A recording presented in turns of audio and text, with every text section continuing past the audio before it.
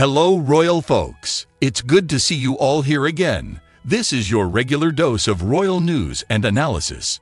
But before we start, please subscribe to my channel and click the bell icon. Thanks.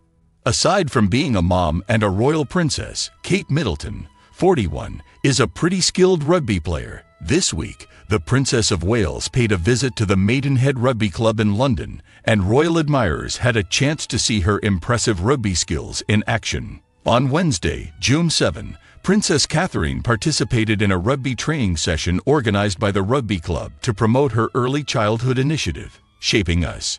During the event, the royal princess had a chance to play a friendly game on the field as the newly appointed patron of the Rugby Football Union, a title that was previously held by the royal's brother-in-law, Prince Harry. The Princess of Wales was appointed as the new patron last year. The Duke of Sussex was the patron of the Rugby Football Union, RFU, for five years, stepping up to the role in 2016 after serving as vice patron.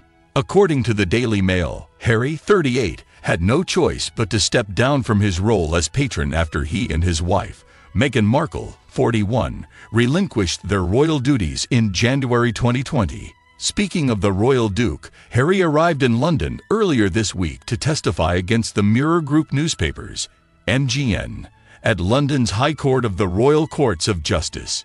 Prince Harry undoubtedly made history as the first royal to take the stand in 130 years, with the last being King Edward VII. He served as a witness in a court case back in the 1800s.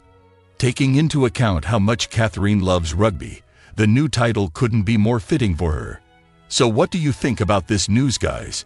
Thank you for tuning in to today's discussion. As always, I encourage you to share your thoughts in the comments section below. Stay tuned for more updates on the intriguing world of royalty. Until then, thanks for watching. We'll see you again with some more fascinating news about the royal family. Thank you.